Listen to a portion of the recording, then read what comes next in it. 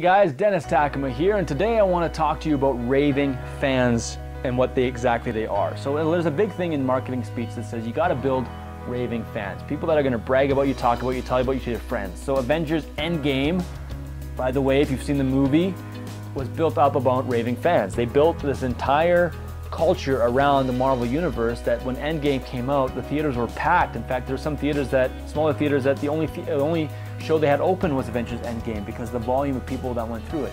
They created these raving fans that just wanted to tell the story and tell the story to their friends when they've seen it about how good it is and get more people in there and get them buying from them over and over and over again. They built a great raving fan process to get people just to, to come in and, and do this. There's some restaurants that do it really well that said, hey man, Dennis goes to, the, goes to this restaurant, has a great experience, goes tells his friends, hey, you gotta go to this restaurant, you gotta have this same experience. It was a great time. Hey, I went on this trip, you gotta go on the same trip. It's the same thing. Hey man, I use this plumbing company. You need a good plumber, use my plumber. That's raving fans. People that do your marketing for you so you don't have to invest a lot of money into marketing. Now here's the thing about raving fans.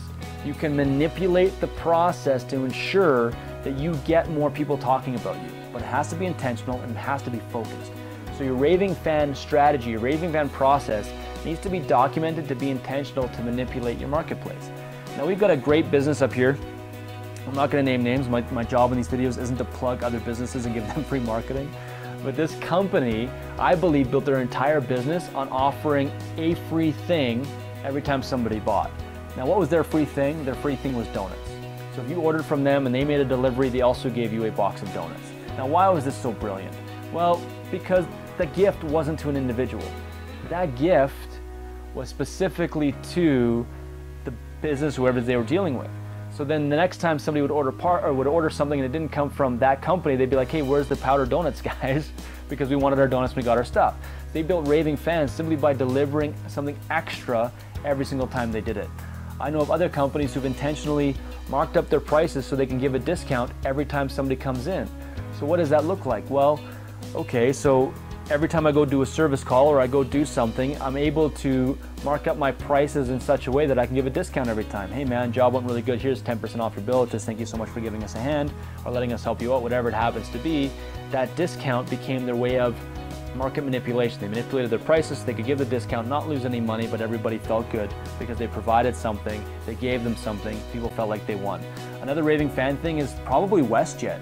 If you've ever flown with any airline, I, for me personally, you might have your own personal preferences, but I have a hard time flying somewhere if WestJet isn't going there because they've done such a good job to ensure that the flights are fun, that I want to talk about it, that I'm enjoying the experience, that I'm not stressed out, that everything is taken care of, and I know they're going to take care of me.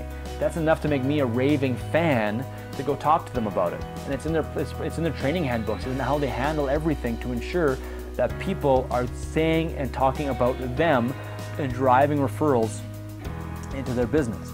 I never went on WestJet because of marketing. I went on WestJet for my very first flight because somebody told me you gotta fly WestJet. So I made a point of flying WestJet. And I have a hard time, honestly, flying with any other airline. So what's a raving fan process? A raving fan process is the way you're gonna go about intentionally manipulating your audience to get them to buy more stuff from you because of the experience that they've had that they wanna tell their friends. And you set and stage that up all of our one-to-one clients that we work with, they get the Raving Fan Process tool to help them build it out for themselves. And for you, I would do the same thing. I'd build out that Raving Fan process in such a way that you're manipulating and tracking to know if what you're doing is having an effect. And by the way, Tom Hopkins, uh, great guy to listen to if you ever look him up on YouTube, uh, great sales guy, built his entire business off of thank you cards. He would simply send out a thank you card for every transaction he ever did. And those thank you cards earned him more business than probably any other exercise that he did because every time somebody contacted him, he'd write out a handwritten thank you card. Hey, thank you so much for connecting today. It was great to see you again. Hey, thank you so much for buying from me. I hope we can help you out in the future. Hey, thank you so much for the phone call today. It was great to reconnect.